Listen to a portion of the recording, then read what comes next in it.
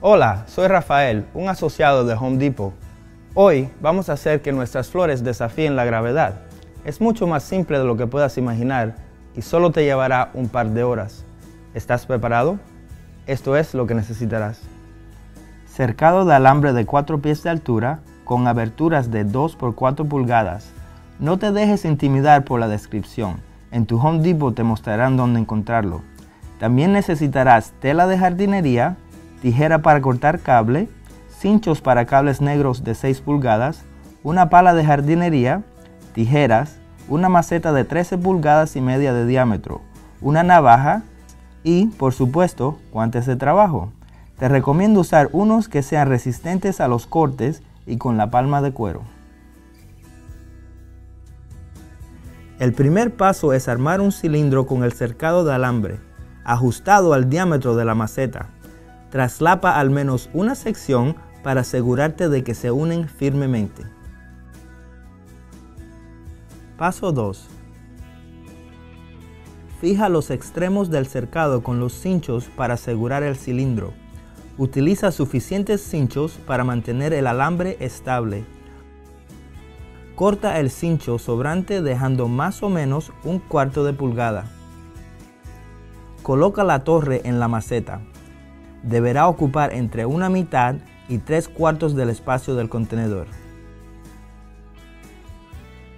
Paso 3. Envuelve el exterior de la torre con la tela de jardinería para medir cuánta vas a necesitar y córtala a la medida. Asegúrate de traslaparla un poco para que la tierra no caiga por los agujeros. Después, enrolla la tela y deslízala por el interior de la torre. Colócala en su lugar dejando que sobresalgan 2 pulgadas por la parte superior. Paso 4. Dobla la tela sobrante sobre el extremo superior del cercado.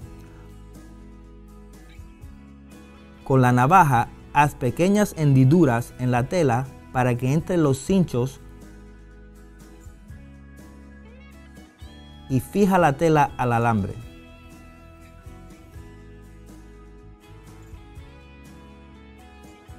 Paso 5. Rellena un tercio de la torre con tierra y riégala para que se asiente. Echa otro tercio de arena y añade más agua. Rellena el último tercio dejando libre una pulgada y riega de nuevo. Paso 6. Utiliza la pala de jardín para llenar de tierra la maceta por el exterior de la torre.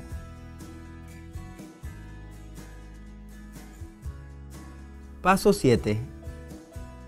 Empezando por la parte superior del cilindro, corta pequeñas X en la tela coincidiendo con los agujeros del cercado y ordenándolos mientras vas bajando. Paso 8. Añade las flores introduciendo un dedo en la tierra para, a continuación, introducir la planta o el semillero en la abertura. Recuerda, no debes forzarlo. Paso 9. Para terminarla, Pon algunas plantas en la parte superior de la torre.